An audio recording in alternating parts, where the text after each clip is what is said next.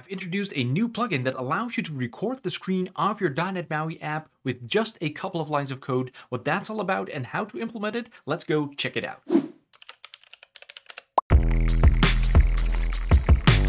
If you have been following this channel for a little bit longer, then you might have seen the video where I show you how to create your own .NET MAUI plugin. In that video, from start to finish, I show you all the steps that you need to take to contribute to the .NET MAUI ecosystem and delight other users with the functionality that can be unlocked through .NET MAUI in any app, desktop or mobile. I even created this blueprint GitHub repository that you can use. You can just take it from the shelf, you can um, use that as a template for your repository and you will have all the ingredients to give your project a kickstart and get going with just what matters the most, the functionality of that plugin.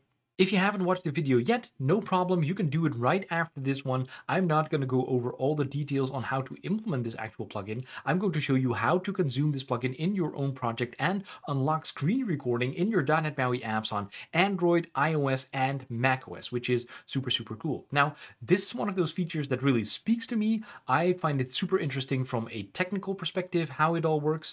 I don't necessarily have a lot of use cases that you can apply it to. I guess one of them could be um, that you want to support your users. So whenever there is a bug or something, um, you can say, hey, press that button. A screen recording will start inside of the app and you can use that as an attachment to your crash provider, so App Center or Sentry or something else. Um, or you can just send that attachment to yourself through whatever method that you like. Um, and you will have a screen recording of what your user is actually doing. So um, hopefully you will have some good use cases. Let me know down in the comments if you have use cases that you think of or if you've implemented how you implemented it. I would be very curious to know. Um, but without further ado, let's just hop over to my screen and show you how to implement this in your own project. Let's first have a quick look at the GitHub repository. You can see it right here hosted on my personal account, plugin.maui.screenrecording. That's also the name of the plugin. Um, this is kind of like the naming convention that I use for my plugins. And that's also where I base that blueprint repository of that I just mentioned. A lot of people are already picking up on that naming convention, using it as well, which is super cool to see.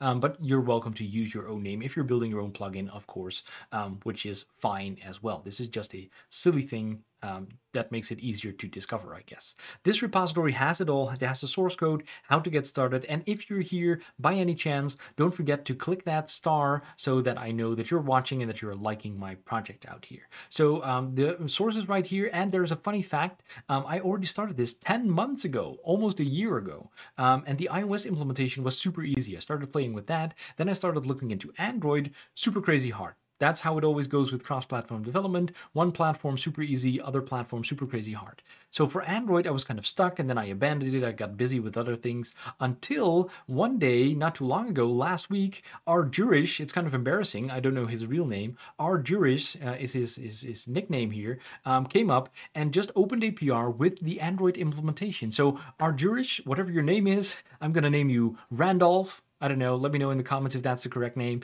Um, he's also a member on my YouTube channel. Thank you so much for doing this um, because that really helped this plugin and get it over the line and get a first preview out there. So thank you so much for doing that. Super, super cool. Um, you can not only find the source for all of this, you can also find the sample app that I'm going to walk you through in a minute right here. And you can see how this all is set up and how to use it in your own application. Um, so if we scroll down, you can see you can get the link to NuGet. First preview version is out right now. Um, you can see how to get started with this API usage. And here is a couple of important things. On Android, you need to do some things in your Android manifest, a couple of permissions, but also set up this service. You need to declare that. Um, and you can just copy and paste this line, make sure that it's in your application node, um, and you should be good to go. Um, it's just something, the foreground service is what on Android you can do to run background tasks, and the screen recording is a background task that it's uh, been using. And there's also already a important difference here. Um, on Android, you can record the whole device basically. So you start recording, the user goes through their whole device, they close your app, they go to somewhere else, somewhere else, and it will record all of that. On iOS and macOS, it will only record the screen of your app. There's no way around that. You can also only record the screen of your app. So there's an important difference there.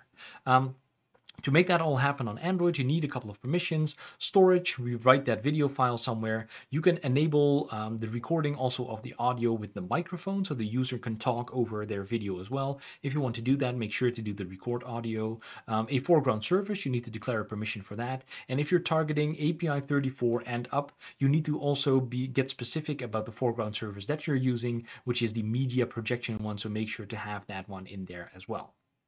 Now for iOS and macOS, um, no such extensive things are needed. There is a feature which is only implemented for iOS and macOS right now where you can save the recording to your photos gallery. Um, if you want to do that, if you want to enable that, then you need this key in there to have write permissions inside of that Photos app and it will pop a little permission automatically that's built into the library to the user like, hey, this app wants to add something to your gallery. Do you want to allow that, yes or no? Make sure that you have a descriptive string in here, else Apple will deny your app in the app App Store. For Windows, um, no implementation yet, so if you are a good open source citizen and a Windows wizard and you know how to do this, please consider open a PR to this library and we have full coverage on all the platforms right here. Now, all this usage, I'm going to talk about that in the sample app. Again, Arjurish, thank you so much. Big shout out from here. Amazing work. Um, okay, let's hop over to Visual Studio. I pulled down the repository, I opened that sample app, and what I want to show you is that it's on NuGet. So if you're doing this in your own project, open that NuGet Manager, um, just search for plugin.maui, that screen recording, you can find it right here, install that on your project, and um, you will be good to go. Let's just have a quick peek. If we lose this one and search for plugin.maui, you can see this list of plugins, um, plugin in-app billing, plugin pop-up, um, some other things, Maui screen brightness, screen security. If there is a plugin that you're missing in my videos, let me know down in the comments below and I'll see if I can create a video. But it's just awesome to see all these different plugins that are right here. Okay, so if you have it installed, you go to your Maui program um, and you want to include this using plugin.maui.screen recording, and then you can use this extension method use screen recording right here. Um, this does a couple of things. Um, this is a common pattern that you will see for plugins for .NET MAUI, but also ASP.NET. Um, and it will do a couple of things. It will register um, the interface and the implementation in the dependency injection container. So now you can use it with dependency injection, which is super cool. Um, and for Android, it also sets up some stuff for the foreground service that it needs to use. So um, you don't need to, you don't want to forget this line. You can also see we're using the Maui Community Toolkit media element here, which will show in the sample app uh, to immediately show the screen recording back to you, which is super cool. Um, and this is all that you need to do here. Now, Let's have a quick look at that Android just for the full picture, uh, the Android manifest.xml. Um, you can see, oh, actually, let me open the source right here. So we can do that.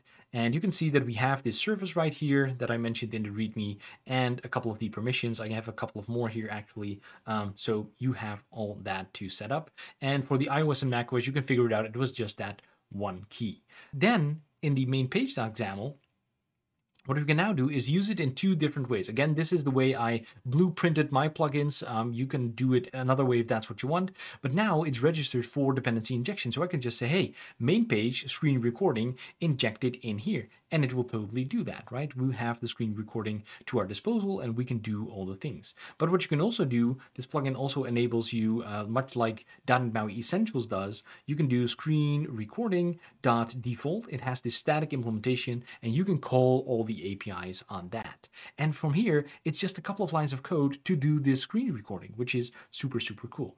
Before we look into the code, let's have a quick look at the XAML that we're going to see. So we have a simple layout, scroll view, vertical stack layout. And here we have that media element that's going to show us the recording back to us. And here we have a couple of switches, one switch for, to record the microphone, yes or no, one switch to save it to the gallery, yes or no, and then two buttons to start the recording and stop the recording. Then whenever we run that, you will see it here on Android. You will get this interface um, with, you know, a couple of switches, a couple of buttons, and the media element to actually show the recording back to us. Now, the important parts are start recording and stop recording. So let's dive into those and start recording recording clicked, here we are.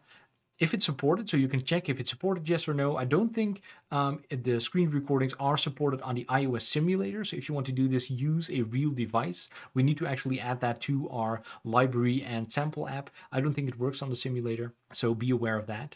Um, then it says, hey, not supported, we can't do this. Um, but if it is supported, which should be most of the time, then, you know, we're going to toggle the buttons right here and we're going to say screen recording dot start recording That's it. That's all you need to do. You don't even need to specify the options. You can, but you don't have to.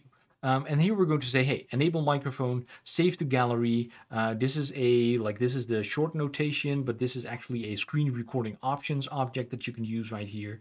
Um, and one other thing that you can do is the save path. So we're going to create a temporary file in the temporary path of your device automatically. But if you want to specify your own path, you totally can do that with this option, but you don't have to because if we're going to do stop recording, where am I going to find my recording? Well, it's going to give to you a screen recording file. So that's going to be the result. So you're going to say, hey, stop recording, and that will give you a resulting file. And with that screen result file, um, we're going to check like, hey, get the full path. Uh, we're going to get the path, we're going to get the size, and then we set that as that media element source. I don't think the screen result actually has much more properties than just the full path or the content type, uh, the file name. So a couple of things that have to do with like the file name and the path and that kind of stuff, right? So you can do all of the rest with that yourself. Um, and if there's no screen recording for whatever reason, we're going to give you a little dialog right? So that's all that's in here. That's all that's needed to do this screen recording. So let's see it in action. I'm going to do it here. I have the app already running. Um, if you also want to record the microphone, you can do it here, the gallery only for iOS and macOS. Let's click start recording. It's going to pop a little dialog. It's going to do that all the time just because this is a very sensitive thing. You can record all the sensitive data, so your user needs to be aware, and you can say, hey, start now right? This is the same thing going to be on iOS as well. And now you can click around, you can do this, you can toggle these buttons. I can, so for Android, like I said, you can go out of your app right here. The Android is a little bit lagging, so don't mind that. Um, you can go back here, go back to the screen recording app, and now wherever I stop it, it's going to be loaded in the media element um, picture right here. You can see first the path and the size, okay, and it's going to be um, here in the media element, and you can play it back right away, right? So now I'm just hands-free. This is happening automatically. You can see the toggling going on. It might be a little bit small on your screen. Um, we'll go with the switching, and we go back, right? So you can see that screen is recorded. You can get the file path. You can save that as an attachment, send it to your backend for some reason, for support reasons or whatnot, or to spy on your users. Please don't spy on your users. um, so you can do all of that, right? You can do the same for iOS and macOS. Super cool stuff in this plugin. Maybe it's because I built this plugin myself, but I think it's pretty darn amazing. Um, so like I said already a couple of times on iOS, macOS, you can only record the screen of the app that you're building because, you know, again, it's super sensitive stuff. You can spy on your users with this and Apple has restricted you from recording the whole screen, at least with this API. So that's not something that you can do. You can only record your app, which is what you want to do um, anyway, probably, unless you're building some kind of screen recorder, but that's something way outside of the scope of this thing. Um, so uh, let me know your use cases in the comments down below. How do you plan to implement implement this, I'm really curious to know. Otherwise, um, I would highly recommend that you check out the video on creating your own plugin. Maybe you can do a better job or you have that other functionality that you know exists on the devices and you want to implement yourself. Um, check out this video for that and please share your plugins with me so I can make, make videos about your plugins and it will be a whole plugin inception. Uh, see you for the next one.